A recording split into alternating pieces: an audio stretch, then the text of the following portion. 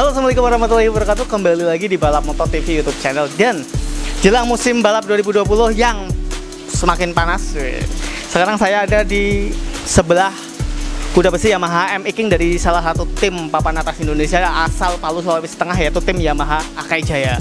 Motor ini merupakan motor yang disiapkan buat tarung di musim balap 2020 Menurut mekaniknya Mas Yogi MPKW itu bahwa motor ini memang sudah siap ready buat dipacu oleh Herman Bass. Nah, kira-kira kita mau mereview ya uh, ubahannya apa aja sih dari motor MX King untuk spek 2020 ya terutama ya. Terus nanti kita bakal tanya juga sama Mas Yogi mesinnya, terus powernya sekarang gimana dan uh, risetnya apa aja. Pokoknya kita nanti bahas ya. Nah, untuk yang pertama kalinya, pastinya kalau bahan modif kalian juga balapannya juga ya. Knalpot, knalpotnya itu masih pakai knalpot proliner. Ini mungkin udah didesain khusus spesial buat karakternya Herman Bass. Ini motor Herman Bass ya. Lalu dia pakai footstep RCB, peleknya RCB. Untuk rem belakang ini kemungkinan besar ini asli bawaan pabrik. Dia menggunakan cakram ya Herman Bass ya. Kan ada pembalap juga yang uh, memilih menggantinya dengan tromol. Terus kita ke depan lagi, set. Ini piringan cakramnya merek TDR, suspensi depannya ini modifikasi plus ADD ya. Untuk master rem eh master rem, kaliper rem bawahnya itu pakai Nissin. Kita lihat ke atas ini ini handle remnya itu pakai RCB. Wah, untuk data logirnya pakai Micron 4 ya. Terus ini juga ada buat pengaturan mode buat apa? ECU ya, i mode gen 3 ini dari aerator. Nah, kayaknya yang kelihatan itu ini aja ya. Selain itu body-bodinya juga dia belum menggunakan body livery tahun 2020. Katanya masih didesain dan menunggu deal sponsor. Jadi entah liverynya nanti seperti apa, kita belum tahu ya. Yang jelas motornya ini udah jadi. Nah, sekarang untuk kita tahu lebih dalam mengenai jeroan mesin, saya mau bertanya sama Mas Yogi. Bentar ya.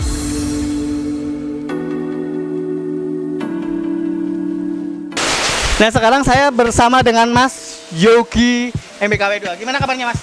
Alhamdulillah baik mas. Oke sekarang saya mau tanya-tanya nih Mas Tadi kan sebelum kita syuting ini kan kita udah berbincang-bincang tuh Mas ya Ya. Jadi ini adalah motor yang siap digunakan untuk Herman. Herman Jadi settingannya buat Herman Bass di 2020. Ya. Perbedaannya apa nih Mas? Ada risetan terbaru apa untuk pacuan Herman Bass ini? Kalau untuk ini kita baru nyoba piston sama cam mas. Piston sama Cam. cam itu noken as. Iya, noken as. Kita nyoba piston Uma yang Forgin. Kita timbang-timbang kemarin sama piston sebelumnya. Lebih ringan ini, lebih powernya lebih Lebih keluar. lebih keluar ini mas. Sama noken as juga. Karakternya berubah atau gimana noken as? Kalau karakternya kalau noken as kita cuma kemarin sama Mas Metis cuma ninggiin di liftnya aja sih mas Tujuannya untuk apa Mas kalau liftnya lebih tinggi? biar atasnya tambah Atasnya berarti ini melihat dari apa? Musim sebelumnya ya? ya? Ya. musim sebelumnya kalau yang untuk yang lain kita nggak ada mas rasio apa apa tetap cuma kita perubahannya di piston sama cam aja Terus tadi kan bilang katanya powernya lebih tinggi kira-kira dari yang tahun lalu berapa dan sekarang berapa? tahun lalu kita deno sebelum week terakhir Surabaya final kita di Deno sekitar 31.2 31.3 satu poin sekarang? Sekarang kemarin kemarin ini mas kita Deno udah tembus 325 32,5 32,5 berarti cuma pergantian itu aja udah? itu. itu masih ada satu lagi mas. Oh ada satu lagi yang Iya. disiapkan? Ya kita udah nyiapin untuk tahun depan. Gimana? Nah RC2 Super yang terbaru mas. Oh yang tadi aku baca itu ya? Iya. R, ternyata dia ter- paling baru mas? Iya yang sebelumnya tahun kemarin udah dapat cuma belum sempat ngerisetkan ini sensor-sensornya fungsi semua mas dari sensor gigi dari sensor apa semua bisa disetting semua ini mas. Ini pers- ini belum sempat disetting yang mungkin. sebelumnya nggak bisa mas? Yang Nggak- sebelumnya untuk di sensor rasio belum ada ini ada mas? Ini bisa ya? udah ada sama ya GPS tapi belum sempat nyeting kemarin sama Mas Medis cuma disuruh ya bisa aja deket YCR baru kita nyoba. Berarti dekat YCR kemungkinan besar bisa dites di YCR Boyolali. Terus ini pengaruh juga sama powernya nggak atau belum di setting kemarin yang udah nyoba sih Mas Medis kita udah Mas Medis pakai RC dari sebelumnya RC Super ke RC2 Super di Deno naik Mas. Di Dino naik. Ah, tapi ini belum. Kemarin pas Dino belum belum? masih pakai yang lama. Belum pakai yang itu sudah 32,5 32,5 kemungkinan bisa naik sampai 33 gitu. Sebenarnya kita nggak ya kalau eh, making segitu udah bagus sih mas. Yang penting grafiknya mas. Grafiknya. Grafiknya yang penting Hmm, apalagi menyesuaikan dengan Ya, karakter, karakter motor. Pembalap, itu ya. karakternya Herman Bass itu gimana mas? Kalau Herman Bass ya soft lembut sama jalan-jalannya mas. Lembut? Iya. Jadi dia mau buka sewaktu-waktu RPM turun waktu dibuka lagi udah. Motor udah.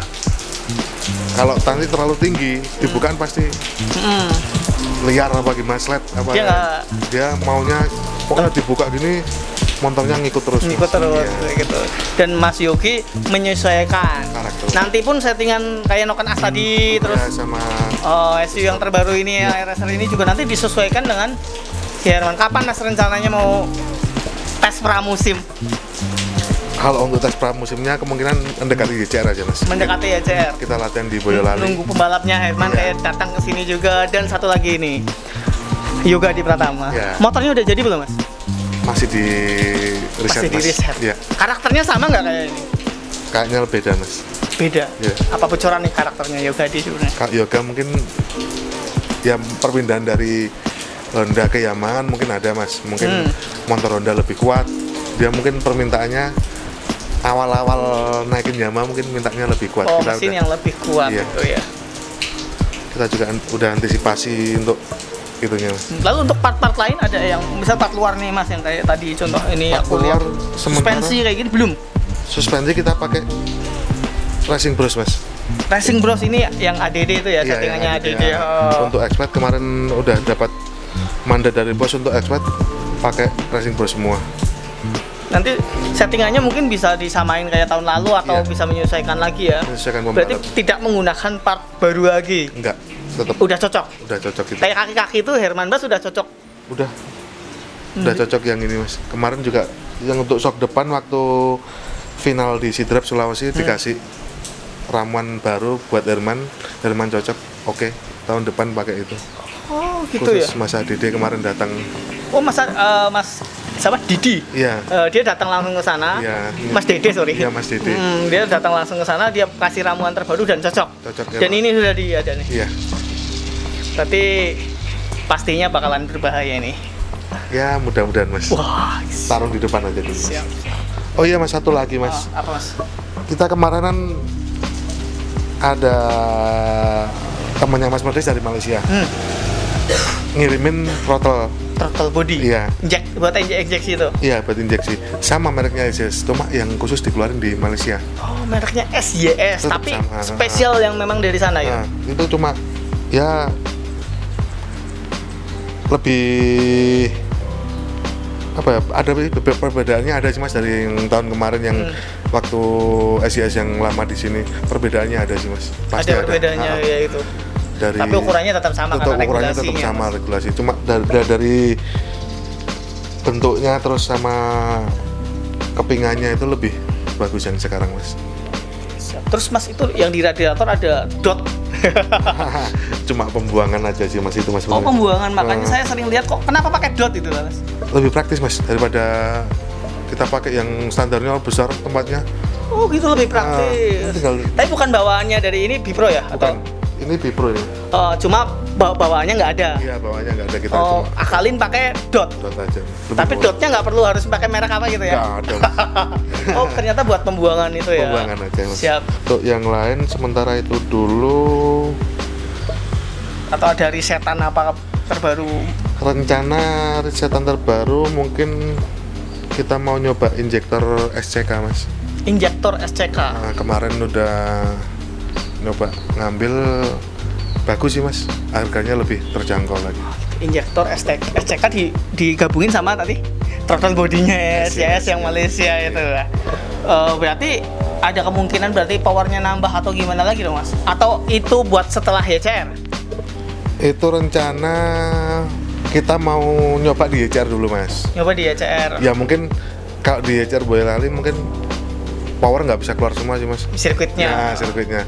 Untuk selanjutnya mungkin kita mau kan one break sebelum ta, Iya, beda hampir sebulan mas ya, itu kan ada apa? pra pra. Prapa musim Hmm. di Sentul. Sentul. Iya.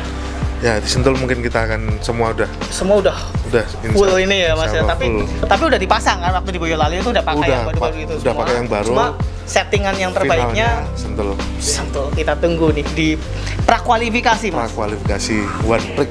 One Pick 2020 di bulan Maret ya Mas Iya. ya. Oke, terima kasih Mas atas waktunya ini kita bisa melihat motor WMI King untuk spek 2020. Oke. Thank you Mas. Sampai ketemu lagi dan jangan lupa nonton terus Balap Motor TV YouTube channel. Balap motor TV.